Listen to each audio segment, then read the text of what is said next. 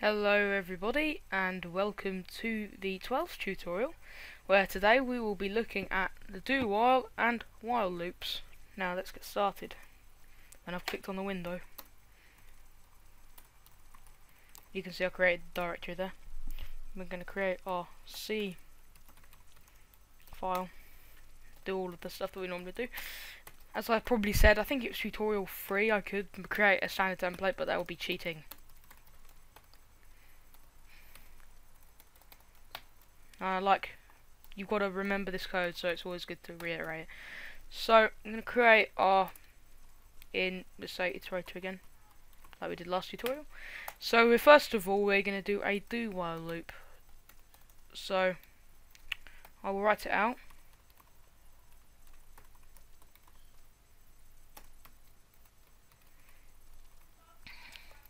So what this does is that it is guaranteed to execute once. So unlike with our for loop, it doesn't have to meet a specific specification for it to run at all.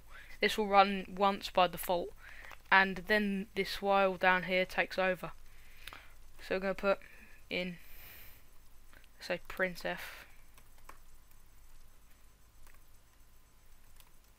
I'm going to put our iterator in there. So that will print out our thing. Also, one thing to note, this one doesn't do plus plus within it, so we have to put iterator plus plus plus plus in the default.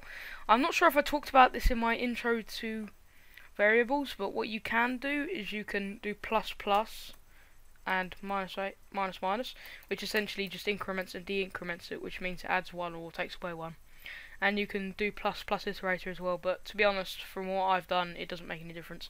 So now for a while loop which is just when I can get caps lock off.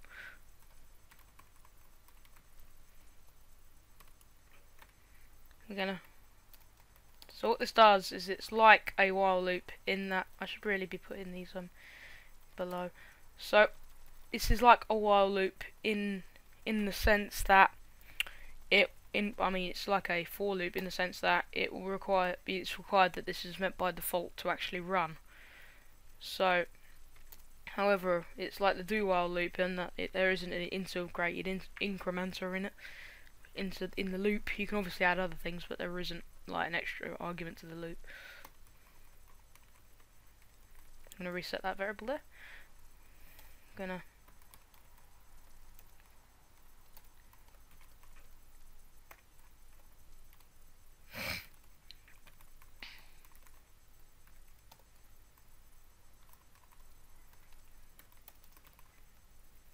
that's essentially a do while and while loop.